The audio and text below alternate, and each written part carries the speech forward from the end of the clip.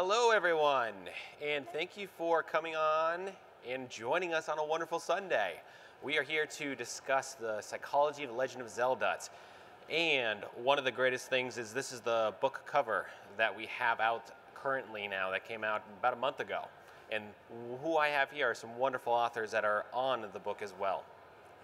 So one of the big things we're here to discuss is the different psychological impacts of the game itself and why it has been drawing so many different people and how it continuously wants to be played, I guess is the easiest way to do it.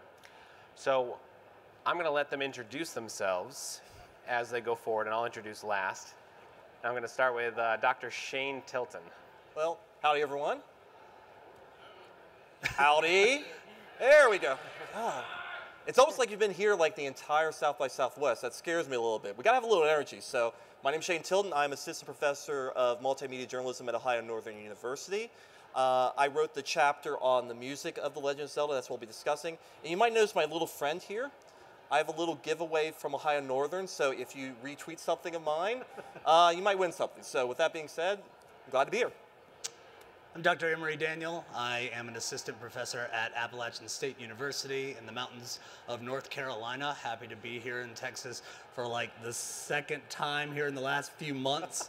Uh, but happy to be presenting about this. I do a lot of research in streaming and streamers, uh, so it's a big fascination of mine to look into video games as well. Um, I did a chapter in the Majora's Mask with the Kübler-Ross Stages of Grief.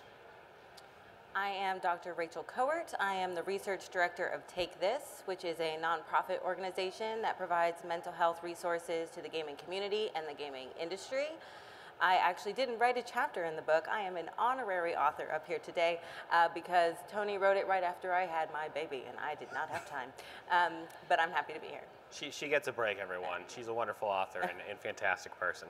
So my name is Dr. Anthony Bean, and I am a clinical director, uh, an executive director, clinical psychologist of the nonprofit up in Fort Worth called the Telos Project.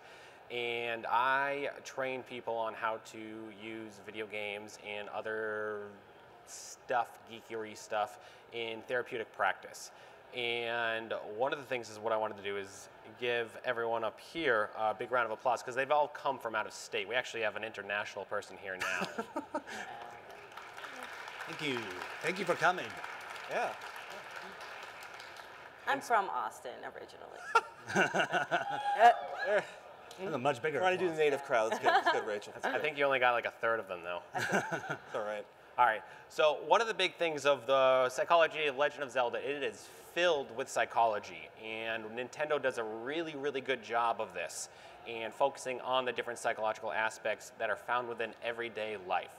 So one of the ideas uh, behind it is why? How do they fit this into the narrative? How do they make this so important and impactful for so many people? Whenever we have a new game come out with every three to four years, it instantly hits number one.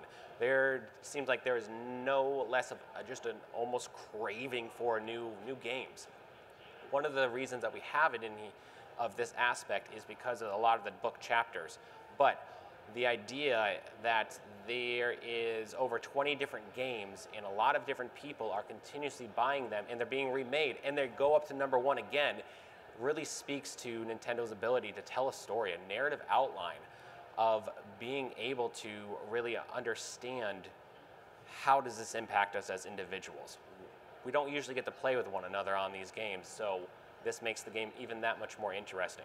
And I wanted to kind of pause it over to them a little bit of what about this game itself was so enthralling for you because all the chapters on the book are written by Zelda fans. If you were not a Zelda fan, you were not al- kind of allowed to write for it um, because you had to have had a love for this this uh, idea.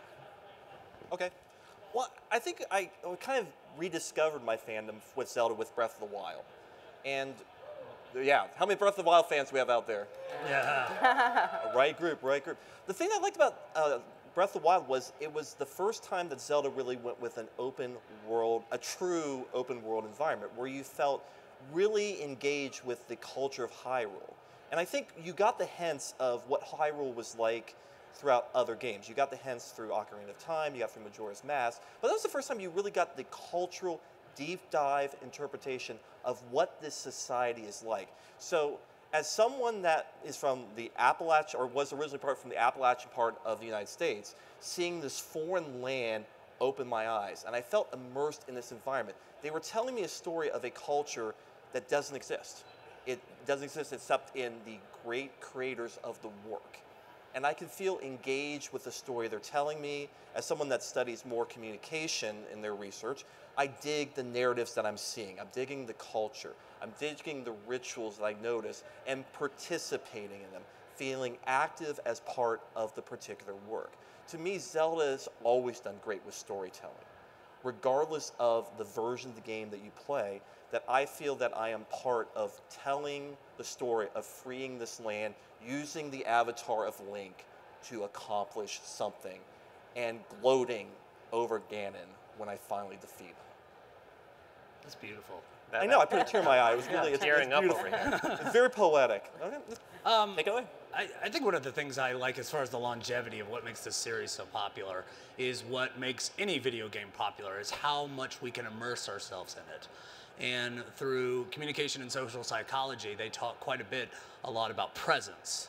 So you may have heard this through a term called telepresence, but there's several major facets within presence, but two of them that really stick out are social presence um, and spatial presence. And for uh, The Legend of Zelda, for me, spatial presence is probably one of the main facets with it. Now, again, this comes back to Breath of the Wild, for instance, uh, because I feel so immersed within this world uh, that I find myself hunting for durian fruits for three hours and realize that three hours went by, um, or battling a Lynel and realizing that again three hours have gone by, even though I wanted to throw my Switch out the window at that point. Um, but it goes into other chapters as well, uh, where that spatial presence work with Link's journey. And I know as a part of myself, when I play certain versions of The Legend of Zelda, probably most of them as a matter of fact, I do feel like first and foremost, I am what Miyamoto envisioned with it is the the young person going out and exploring caves which is kind of how he imagined it when he first talked about it. But the other thing is that I feel like I'm on that hero's journey myself, uh, and the growing and uh, earning the Triforce of Courage. That that meant a lot to me.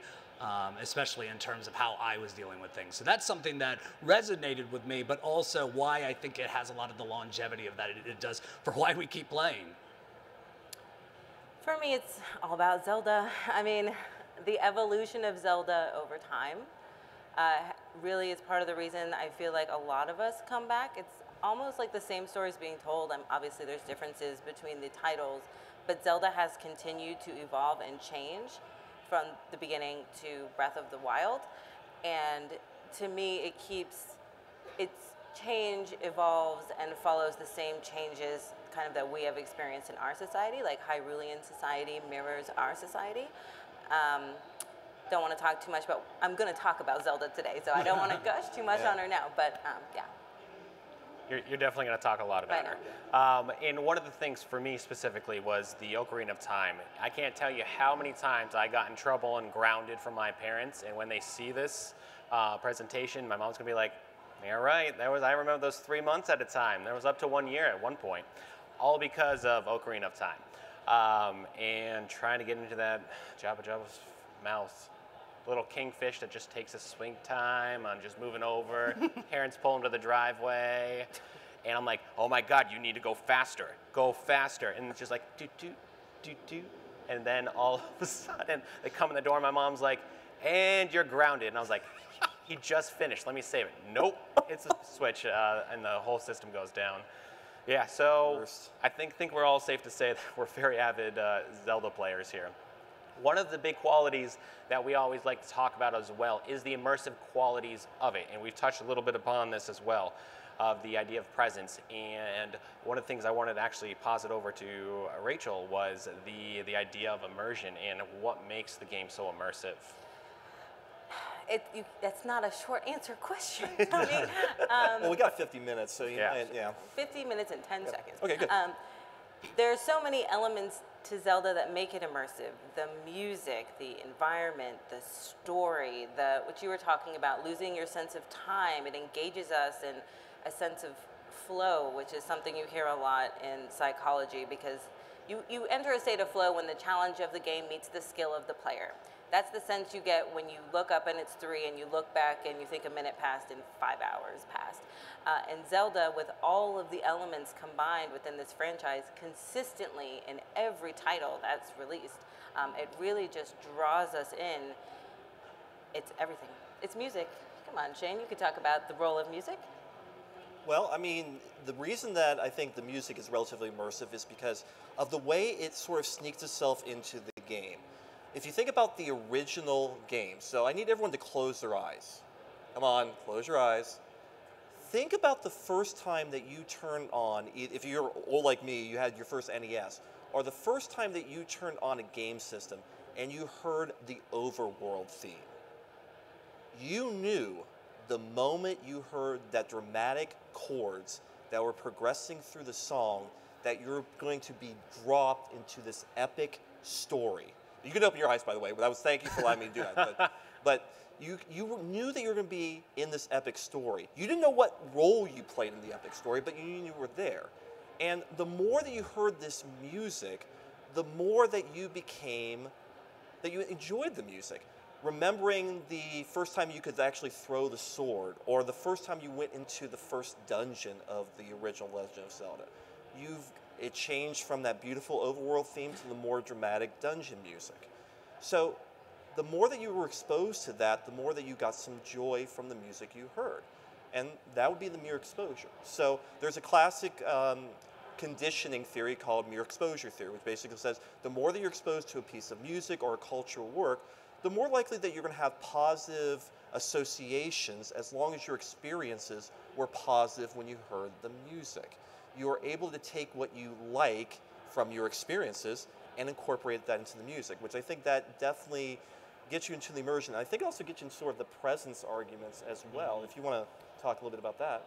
Well, and, and I actually, because when you say that as far as enjoyment, how does that incorporate when I'm getting chased by a guardian I, and I've had the most stressful music that I've ever had since uh, Sonic? I picked specific pieces. Notice I didn't talk Guardian. That's a not that no Guardian's a light piece of music. What are you talking about? I'm not scared when I hear Guardian. That's that's very joy, right? I never said I was Am I playing a different game? stress. Oh, stress. Okay, yeah. that's different. Okay. Yeah. Okay. No, continue. Continue. No, but again, th- this is another facet within presence is what can immerse us, what brings us into the game, and uh, within music, that is obviously something that uh, makes it so that we feel like we are someplace else. Um, and that is, uh, for video games at least, or for any type of media, uh, what you're what you're going for, what you're trying to accomplish is to get people immersed. Um, and so, you know, when I'm playing, for instance, like a horror game or something,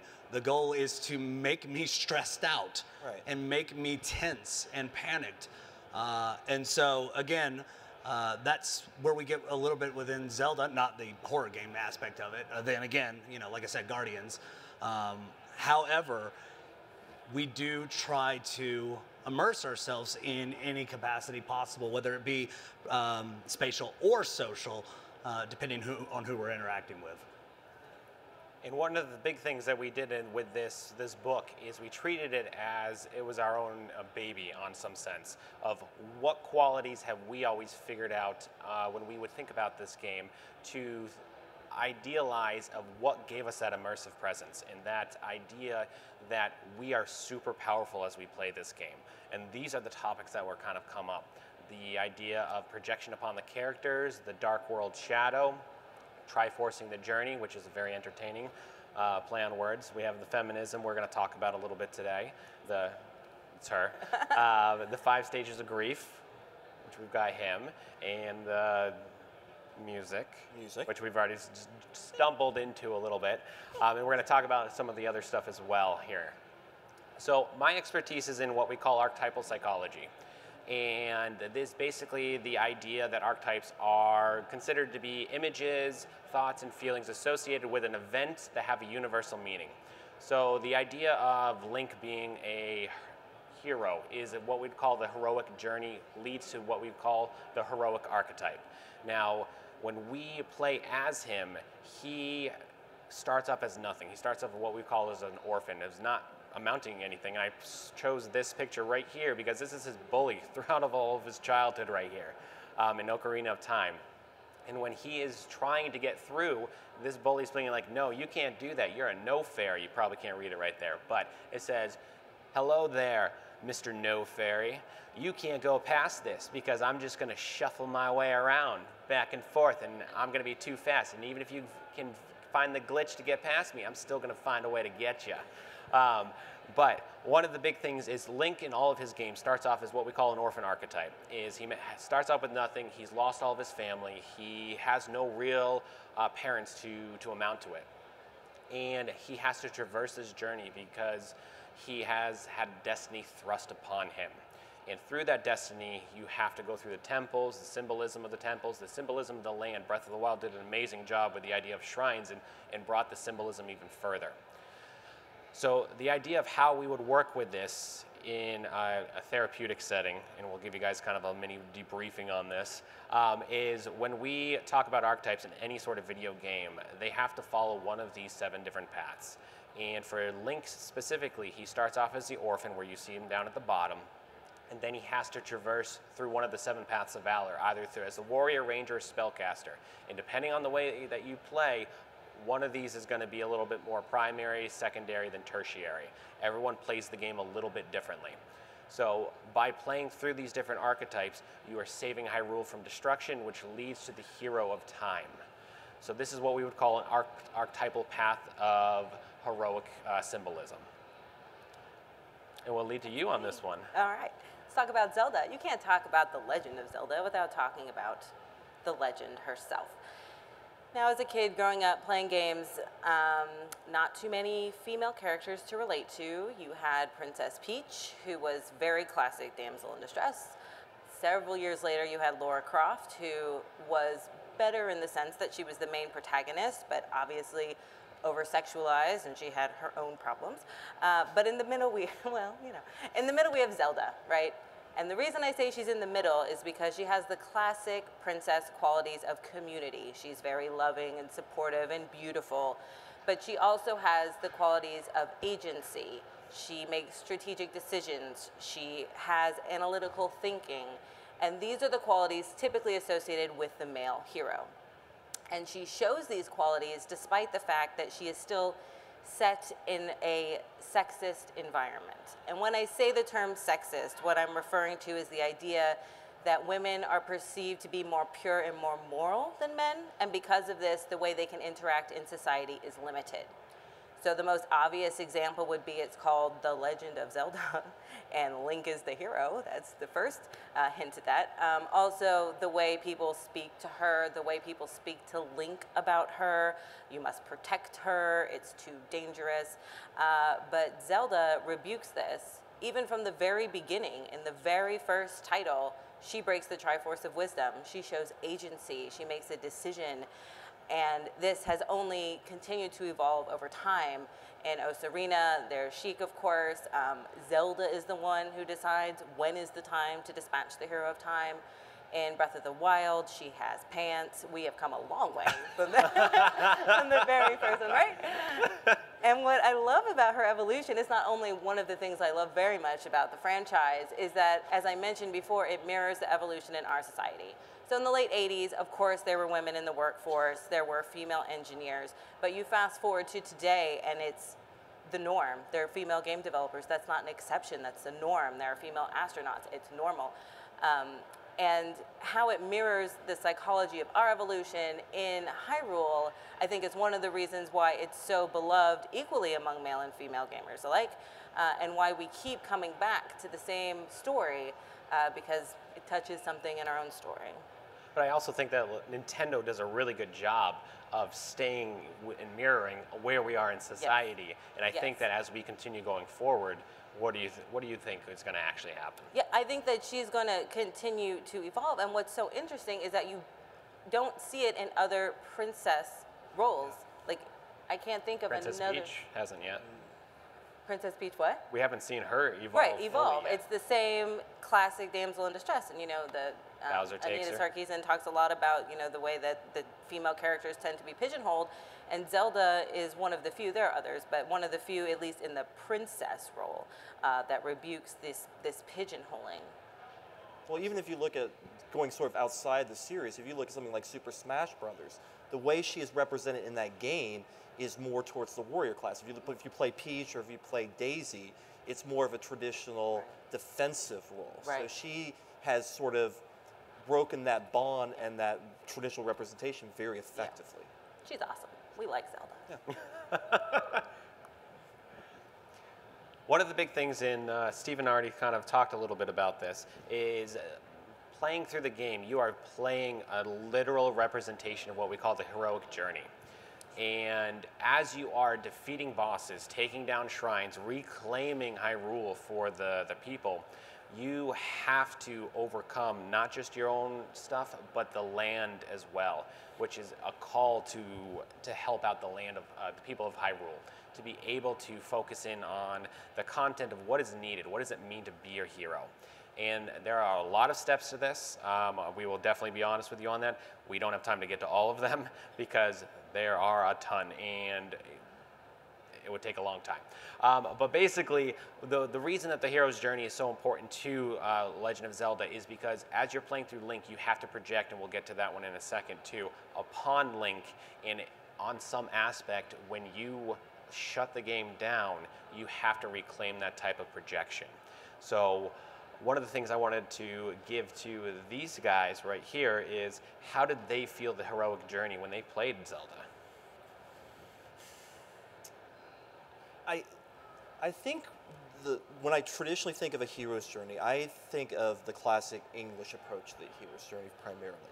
And it feels that, unlike other games of the time, I'm going to back to the original Legend of Zelda because that's where I feel the strongest pull to this. It seems to me that it gave you more capability to feel that loss. You were trying to it's you, you felt that you were trying to recapture some sort of pathway and glory, even though the story and the narrative wasn't as explicit in the original game. You're kind of piecemealing as you went along. But the more that you learned about it, the more that you felt that you were basically being set up for this grandiose final battle, and therefore making your mark on this land to me, that journey means that you are making the time and the effort through your experiences through the nine dungeons to make a mark. You learn new things. And the beautiful thing about the way that was written from the original game is you got the pieces along the way. So when I need to get a raft to make it to the next dungeon, it was given to me. If I need to essentially, um, if I need to have a stronger weapon to get to the point where I can be successful, that comes along as well. It's using the journey and using the tools within the game to tell this really effective story of ways of improving myself. And you can apply that in the real world that you see as you are facing your challenges and facing your demons, that you observe the tools that you use to survive and cope and adjust to those experiences. To me, that's the telling part.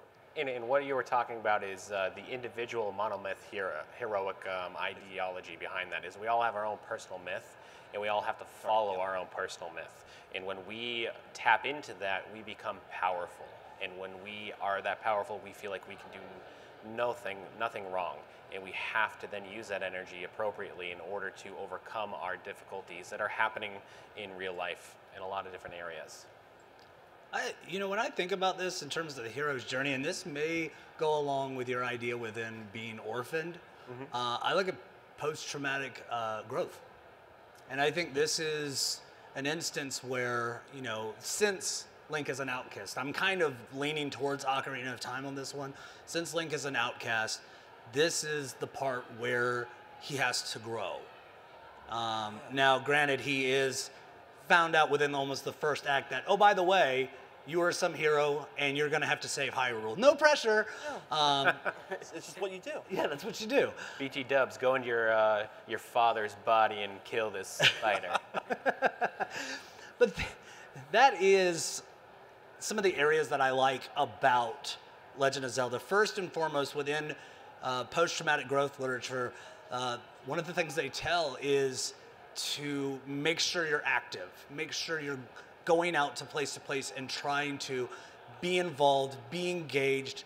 Um, and obviously, Link does that. Well, he kind of has to. Um, but, you know, the, the challenges get harder and harder, as any video game does.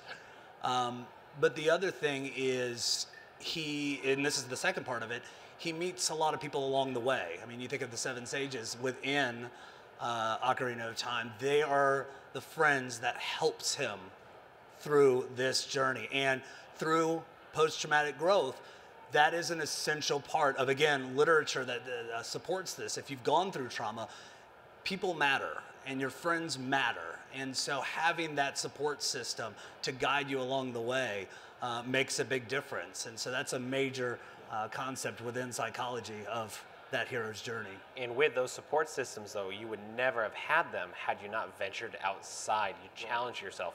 There's a saying in psychology we like to say is you have to be comfortably uncomfortable enough to move. And I think that is what this game series usually does a really good job of it. It's making you just comfortable enough so you feel like you can do it, but uncomfortable enough so it forces you to move on. I do. I had I had a good friend that told me that um, it, it helps within the hero's journey that Link gets up and is active because he was like Link's kind of lazy. because almost every game you start out with, what is he doing when he first starts up? Sleeping. Yeah. So, and I, I kind of probably endorse that a little too much because I'm either fishing or hit, uh, hitting chickens with my sword. Then running inside to reset. yeah, Yeah. yeah. So anyway, Well, the other thing about that last question, how is the player actually playing out the journey? You talk about this in the book. I don't remember which chapter it was, but um, pointing out the fact that Link has no dialogue. And the point is so the player can project themselves onto Link. Link is very androgynous in his appearance. And those design choices make a big impact in connecting yourself as the hero, as Link, going through the journey. Absolutely. And it's developing your own dialogue because Yeah. Where he's silent, you are basically trying to superimpose a narrative that makes sense based on where you perceive to um, the story. I know there was someone that was cosplaying as Link, and I told them about the panel, and they just ha as a way of reacting. Uh, oh yeah, hi, hey, yeah. So, so, so, so it is a way of creating the hero's journey and more customized. So it's not just even the projection; it's that it's narrative construction within Yeah. that game story, which is which makes it really compelling. Absolutely. And one of the big things that we like to play around with is the idea is Link can be a really important uh, model for psychological healing.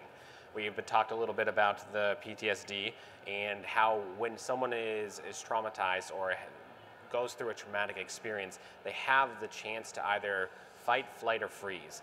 And the wonderful thing about the Legend of Zelda uh, series is that you have that option too, but you don't take it. And so it kind of teaches us different ways of handling the experience, handling these other areas of that can uh, be superimposed upon our own lives. That maybe something's really difficult. Maybe it's hard for us to get up in the morning, or maybe that we it's really hard for us to engage that bully at school. Link itself can be used in that capacity through the journey. And this is one of the games that I always make my um, foster children play because it activates a lot of the uh, orphan archetype, but also their ability to understand themselves is just because they are locked in that doesn't mean that they can't be someone, that they can't become something better. If anything, it's about using your strengths to your benefit. How have you guys kind of used this as a as a weapon against mental health uh, difficulties? I I think it teaches me to be more mindful, and I'm going to go to Breath of the Wild.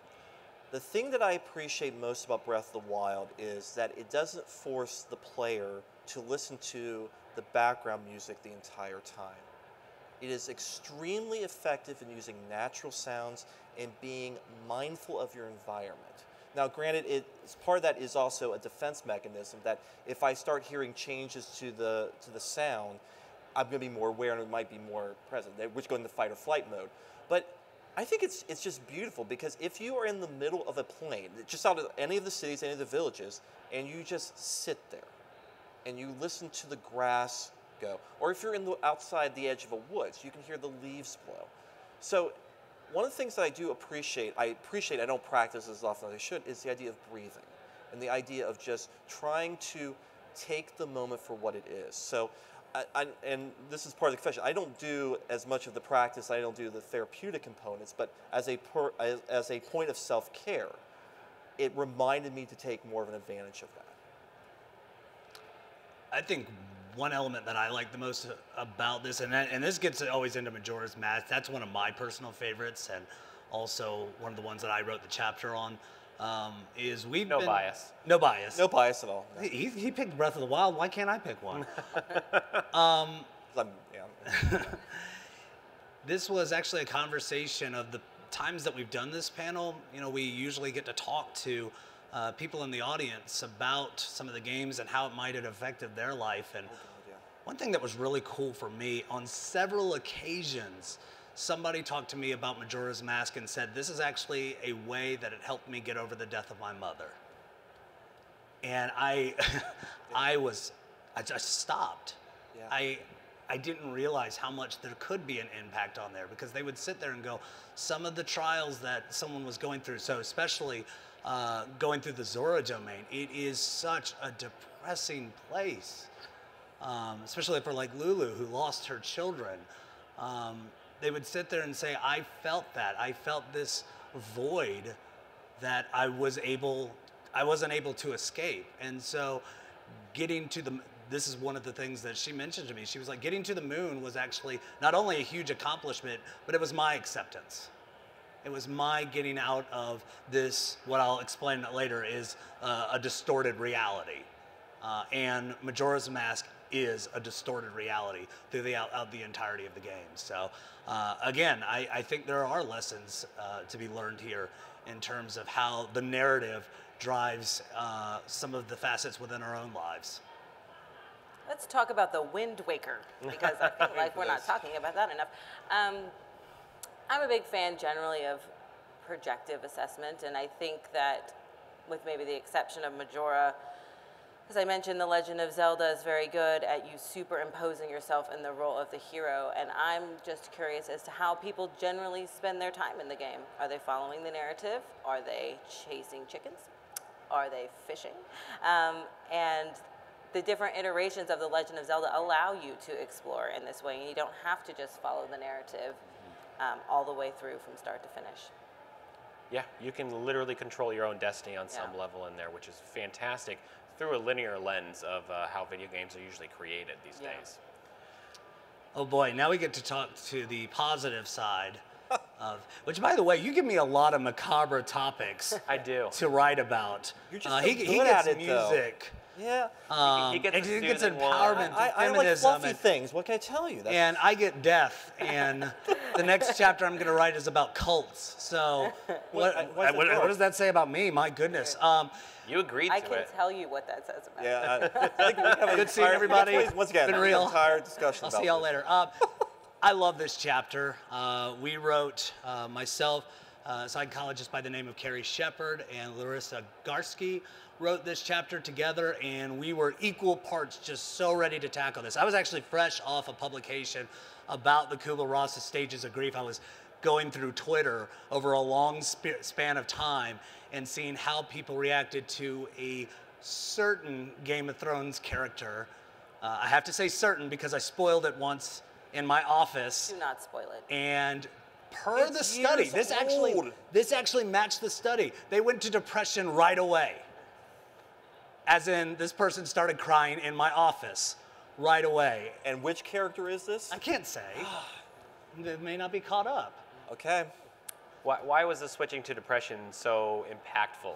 So, the reason is you may have been familiar with this fan theory that the Kübler-Ross's stages of grief, first and foremost, who's heard of the Kübler-Ross stages of grief? Okay. So, quite a few people in here. I'm, I'm going to do a small refresher course on it. Um, you're dealing with five different stages from Elizabeth Kübler-Ross, uh, which are denial, anger, um, bargaining, depression, and acceptance. And the model is that each one of these stages maps with one of the places in Termina. So uh, when you were to look at denial, that was Clock Clocktown. Because most of the carpenters didn't even know who you were. They didn't even think the world needed saving at all. They were complete denial of everything that was going on. Uh, then you go into anger. Uh, if you go to the Deku Palace, the Deku King gets mad at the monkey and is how upset he is for kidnapping his daughter, which obviously is wrongfully accused. And we see that quite a bit. Denial uh, is short lived, but anger can last a long time. Uh, same with bargaining. With, in Snowhead, Darmani begs you, please bring back my soul, um, which that is also reminiscent of what we know about the stages of grief is that we look for a higher power. Save someone in my life. Um, it may be a deity, it may be a doctor, that kind of thing. Uh, I already mentioned about depression within Great Bay, very depressing place. Uh, again, and Lulu is the case study that goes along with that. Uh, and then acceptance, we kind of looked at Ikana Valley, which this is probably one of my favorite ones because when we talk about acceptance, everybody thinks, oh, everything's good now.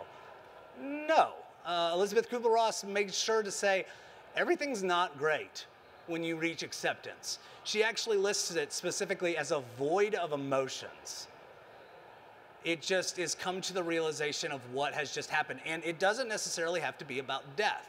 So, as we see the loss of Navi, it was the loss. It wasn't necessarily a death of, but you can have the you can go through the Kübler-Ross stages of grief through many different facets of your life that you feel trauma in. Um, and acceptance, again, is my personal favorite stage. One, it's because it's the most positive one uh, of all of them, even though, again, it is a void of emotions. But the thing I like about it most, it lifts a shroud of what we know as that distorted view. Because when you get the Deku mask, which is another part of our chapter, we talk about masks of the Kübler-Ross model, which is really cool. Kerry Shepard came up with that idea, and we just ran with it. The Deku mask represents the I have got to get out of this state immediately. Because when you get the Deku mask, what do you do? It's, it's three days, you need to get that mask off. That's your goal. So afterwards, everything else though is distorted. The same characters exist from Majora's Mask as they do the Ocarina of Time. It's just a bit different.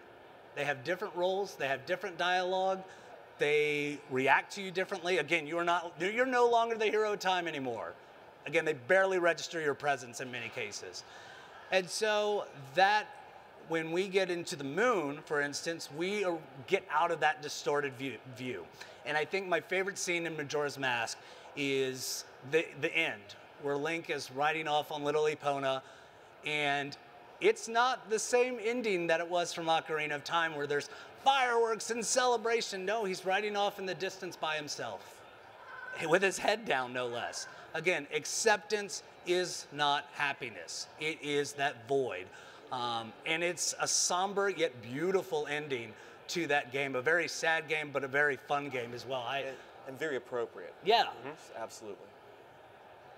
So, and so the different masks that you collect through Majora's Mask all have a significance and a meaning behind the the, the players, the interactions with your environments, and it all has a very important part to play. Some of them you have to spend all three days getting, some of them you get really quick. We were going to have them do an interpretive dance up here, but we voted against it. Um, Nobody wants to see me dance. He said he wasn't going to get a mask Yeah. for it, so. Yeah. Shame. I, I need rewards here.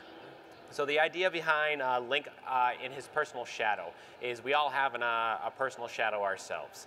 And it is deep down, rooted really deep within us, and it's not something that we can really get at very quickly.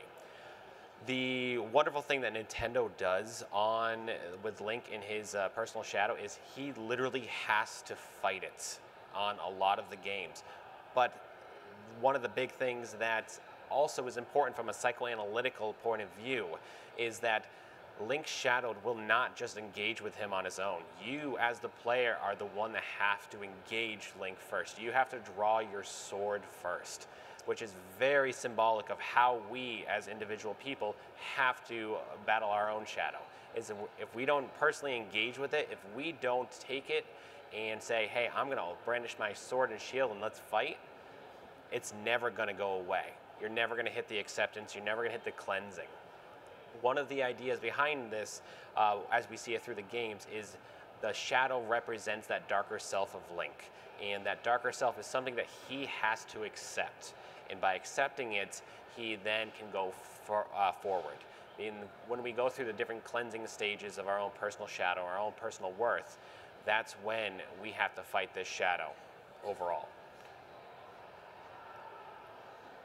And kind of going into the shadows, I think the one thing that we can observe is sort of how the music sort of frames the darkness and the light within the different games. Um, the one thing that I really appreciate about the music of Legend of Zelda is they use a really effective technique. So Kondo, who is the uh, composer of most of the games of Legend of Zelda, except for the Breath of the Wild, uses a very traditional leitmotif approach. How many uh, music majors do we have, or how many people have studied music?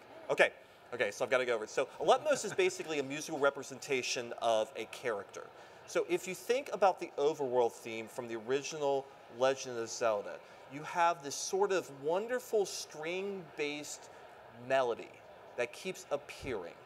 And they do it effectively in other games. So in the and I say Ocarina of Time, Ocarina of Time. I guess, I guess there's kind of variations, but Potato, potato. yeah, I know. So it, it, it's used in Ocarina of Time. It's used in A Link to the Past. It is used in. Um, it's even used a little bit in Breath of the Wild towards the earlier stages of the game. But you hear these melodies that keep calling you back, and therefore it does really effective in just framing the story within the narrative of the music within the narrative of the story.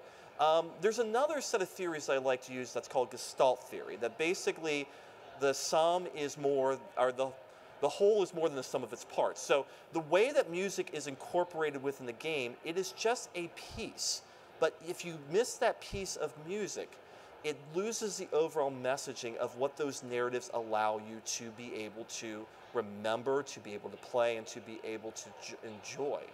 And I talked a little bit about this earlier in terms of leaving those impressions, that uh, the mere exposure effect helps you with that. But I think the one thing that gives you an imprint that does the best um, job of showing the ways that music imprints a particular impression or experience in your memory is going back to the Guardians music you hear in Breath of the Wild.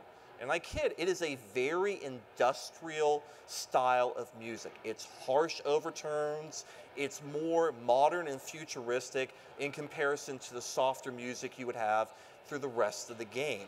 But what it invokes is it's part of your media training.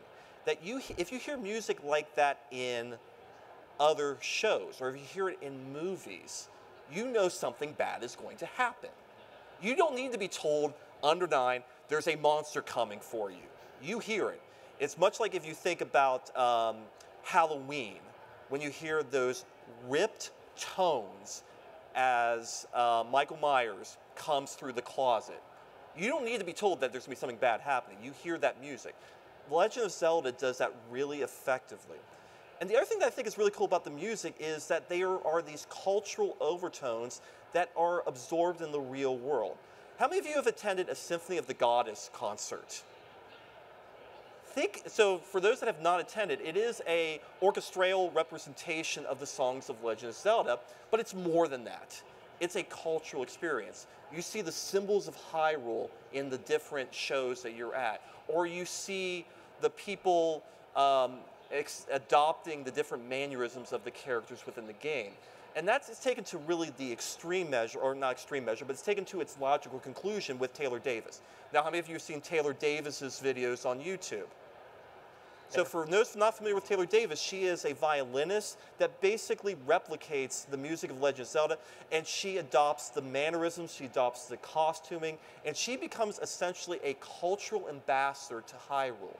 So even if you've never traveled to Hyrule, the way that she particularly frames her shots, the mise en scene, if you will, gives you an appreciation. So all of these pieces of, of, of all these topics that I'm discussing gets to one point that basically the music is the cultural legacy of Hyrule. It's telling the story of a location that has never existed except in the shared social experiences of the minds of the players. Very well put, man. Thank you. Yeah. Yeah. Like, I I'm don't so know where to go with that. I'm, I- I'm Yeah. enthralled. So wait a minute, so I just cut everything off. Okay. Um, well, we got 15 minutes. I mean, so if you if you ever get a chance to, to look, go and find Taylor Davis's uh, work, Yeah. it's hands down fantastic. And she doesn't just do The Legend of Zelda. She does Uh, yeah. Final Fantasy. She does um, anime characters. She is fantastic. So uh, with that point, we always like to make sure that there are questions that are always happening happening in everyone's mind, but we also want to make sure that we can kind of answer anything since we kind of helped write these chapters and have an idea of where we can kind of help maybe with some flow issues or something like that. So we wanted to open up the last 15 minutes here for any sort of questions that any, anyone may or may not have. And then also, I believe we're going to be over at the meet and greet afterwards. So there's a mic in the beginning, or s- beginning, Middle. here, close to us. Yeah. Center. Closer to the stage. Closer to the There we stage. I can almost reach it. Hello. And go ahead. Okay. Have you ever covered anything from Twilight Princess in the book yet? I believe that we did talk a little bit about uh, Twilight Princess and with Midna's in the idea of uh, the wolf uh, archetype and what it doesn't mean to be animalistic, then regain your humanity. Okay. Thank you. You're welcome. Yeah. um, so, um, so I I wanted to bring up the subject of I I've had an autoimmune disorder since I was about eight.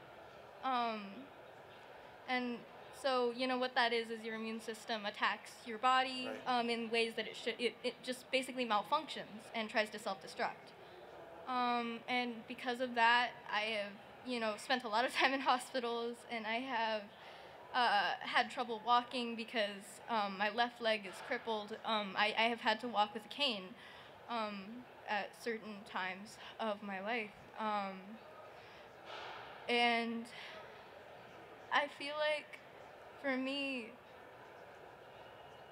Link really embodies the sort of of courage in in taking on your opponents or your foes or whatever it is that you're struggling with because it doesn't matter how how great the obstacle is he always seems to like to to face it with a certain with a certain faith and with a certain acceptance of the circumstances. And that has, I've been playing Zelda since I was a little kid. I think my first game was Twilight Princess. I've also played Wind Waker, um, Skyward Sword, and Breath of the Wild. And I just, every every time that I play, I feel that that That pull. that yeah that sense that you know that sense of the courage and the the whole hero you know being of of being powerful like you said um of being of being able to fight circumstances um so i just i think that that's a very i don't know that wasn't really a question well, let, let me, let me phrase it a little bit for you. So, what, what you're talking about is the courage, and the idea that's one of the Triforce pieces. Now, we also have wisdom and we have power. Now, we know that power can corrupt if it's underneath the, the wrong circumstances, and it's the only uh, part of the Triforce that you have. So, you have to have the courage and you have to have the wisdom in order to hold the power, because those are the two bottom parts of it.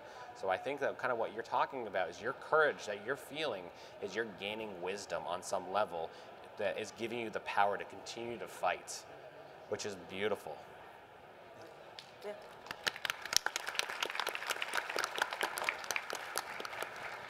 Hard to follow that one up, huh? um, I just wanted to ask. It seems like uh, a lot of your analysis has to do with the, the general like crafting of stories and tapping into the human psyche, like in a way that every story, in theory, would attempt to. And I, I would expect that uh, such like a cash cow for such a major organ uh, corporation would definitely tap into that.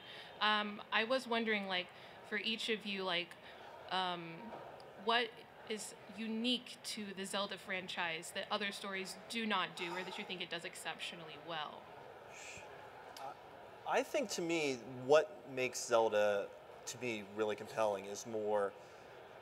It's it's telling the princess story in a way that hasn't been told before. I'm going to go with what Rachel said. To me, it's a different relationship. So I feel that you're not getting a tropic representation. And as you said, Nintendo could have just simply told the story over and over again.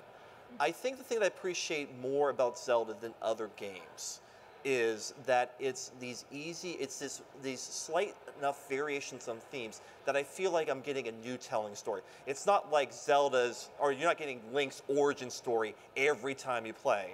It's not like the big superhero movie that I, I no, I don't need to see Link re, being reborn over again. It's variations of that, which is really interesting, but it's it's a change to the story that I find really compelling that other games just don't do. I actually bring this up to um, how relatable Link is in many ways. This was the area of uh, some really cool pop literature that talked about why we enjoy Batman versus Superman. Yeah. And the idea was is Batman has no powers. And he's he's relatable in that way. To technically saying that now, granted, I don't have billions of I was dollars, but say That's the really power. rich. That's But- yeah. I don't have powers either. So technically, I could do that. And Link does not start off all powerful because that's boring. It's uninteresting. Um, he has to gain that through courage and so forth. And so that's probably one of the reasons it s- stands out for me. That and it's probably the best embodiment of the hero's journey. Yeah, I agree with that. I think it's you the evolution again, you starting out with no power and then becoming the hero, and also the way in which they create him, like I was saying earlier, that you can project on him. Uh, my favorite series I'm a Final Fantasy kind of girl, um, and that's totally different because you're interacting with groups, you're manipulating how the group interacts. But with The Legend of Zelda, you you are the hero. You feel like whether you're a girl or a boy, a man or a woman, young or old, they make him androgynous and mysterious enough that everyone can feel like this is me and I am going on this journey.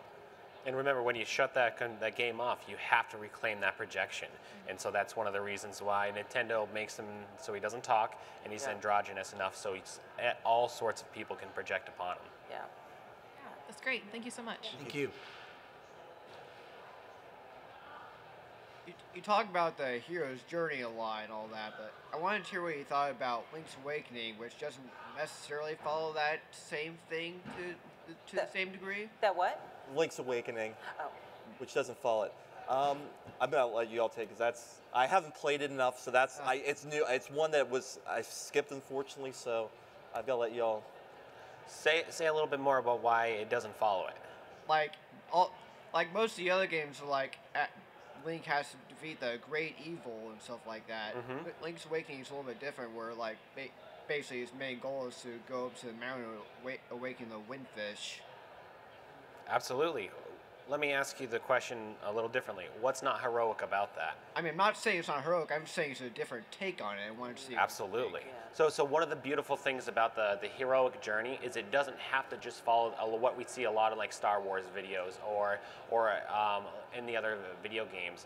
It can have a different path. The, the main part of the hero's journey is made up of the seven different uh, compromises of being having the calling, refusing the call, going towards the call, becoming powerful, going to the underworld, and then completing the major task that can be considered anything that could be heroic. So I, I like that you brought it up, that the heroic journey doesn't have to just follow this very simplistic mindset of that a lot of games try to make it push into in a sense is that there can be a different variations different spin-offs of it but the end result still is a heroic undertaking of a task that is there to have a saving uh, portion of something within the world. Does that make sense? Yeah, thank you. okay. You're welcome. Great question. Uh, hi, thank you for doing such a great talk. Um, I wanted to ask, it seemed like it's way overdue to have a female protagonist in a Zelda game. yes Yes. And uh, I would like to ask, all of us are going to say yes what, what sort of themes and ideas would you like to see in a game like that? Oh gosh. I mean, where to start? It's a big question. I, I would like Big to see like Link like not be able to be uh, played at all, and Yeah. to see what uh, Zelda would have to do to break the chains of uh, Princess royalty and be like, I'm gonna th- get rid of this whole royalties thing and then start from nothing. That's what I would like to see. or it's Wow. taken away from her. So I think it's something where you no longer have the Hyrule Castle. Basically, almost not that she's an orphan, but that basically she's building her skills based on what's around her. So what I would like to see, I think of more of structure. So more of a skills tree or decision tree that reinforces that she doesn't have that type of she doesn't have the support of the past. She's making her way in Hyrule in a way that has not been explored before, and le- allowing us to use skills that can take advantage of that. Well, we start to see that in Breath of the Wild when she Yeah, has a yeah. research journal, and Yeah. you can you can actually go and find it and read it, and it's actually, in my opinion, starting to. Yeah. to we're, I think they're playing with the idea. So it may not be this next one, but I think in a couple ones we might get Scientist something. Zelda, I'm into that. Oh, I'd, I'd be into that too. You have to make It'd little awesome. potions and stuff. That'd be great. Yeah. Thank you. Thanks.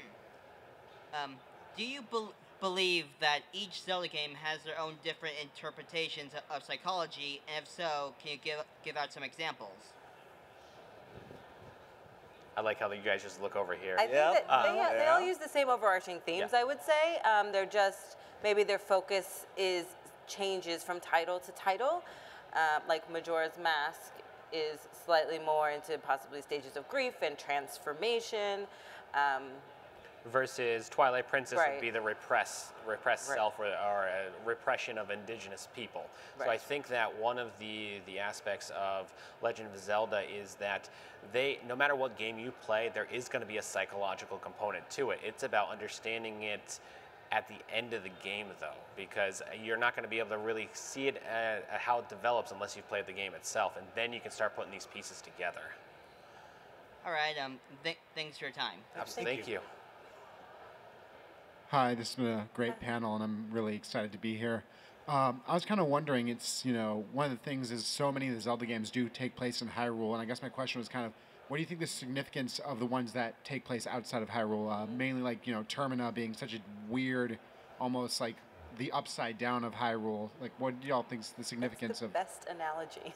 it's, it's a weird, weird place, and you know, it kind of gives a like fish out of water feel to it being Link. And I was kind of curious what y'all thought of Termina as a place, or you know, the other sort of areas that Zelda takes place of in Hyrule. I'd, I'd almost chalk that back up to uh, the distorted reality because, you know, we're dealing in a world that is completely separate from High Hyrule. And it is very much, I'm like using the Stranger Things analogy here. It is the upside down where everything is depressed. And I like the fact that within Termina, again, you as Link are not the hero of time. You are practically invisible. And it is reflected within the world that you're in. It's it's a pretty lonely environment where um, whereas in other titles I feel like it's more the exploration and the other one in, in Termina, for instance, it's sad and somber. Most I mean a lot of the people are dead. Um, you know, we were talking about the interpretive dance mask now.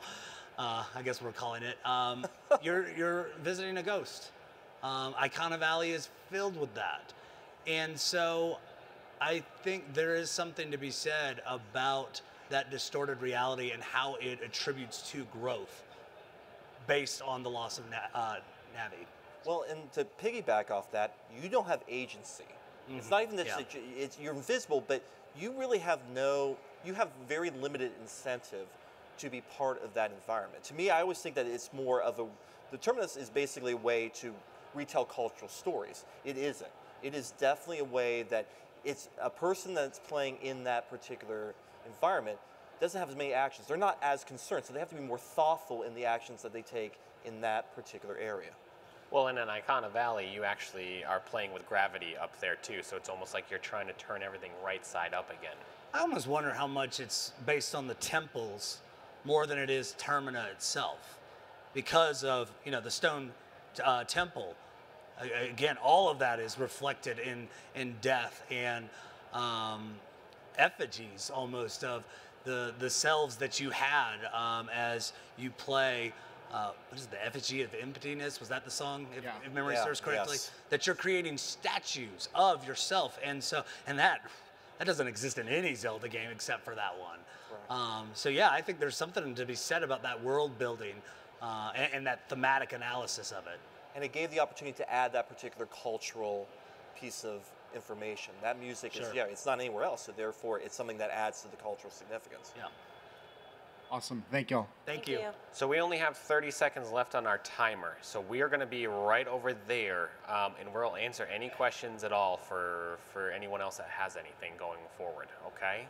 Uh, we want to thank you all for coming. This has been you so fantastic, and we love talking about these things.